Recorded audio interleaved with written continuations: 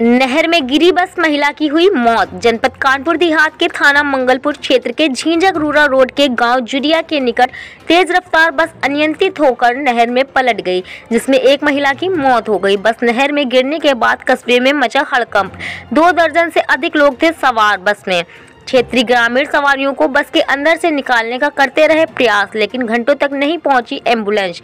मौके पर जिलाधिकारी और पुलिस अधीक्षक पुलिस बल के साथ जुटे रेस्क्यू ऑपरेशन में। पूरा मामला है कितने लोग उसमें सवार ये एक प्राइवेट बस जो रूरा और अ, के बीच में नहर के किनारे बस पलट गई नहर के अंदर जिसके अंदर करीब सैंतीस अड़तीस लोग सवार थे। और उसमें से एक महिला की मौके पे ही डेथ हुई है। एक महिला गंभीर रूप से घायल है और पैंतीस लोगों को सकुशल निकाल लिया गया है। और किसी को भी हल्की फुल्की चोट विशेष नहीं है। और सबको अपने घर रवाना कर दिया गया है। गंभीर रूप से घायल महिला को हॉस्पिटल भेजा गया है इलाज चल रहा है और बस को क्रेन के द्वारा निकाल लिया गया है। सारी राहत कार्य जो है संपादित हो गया है।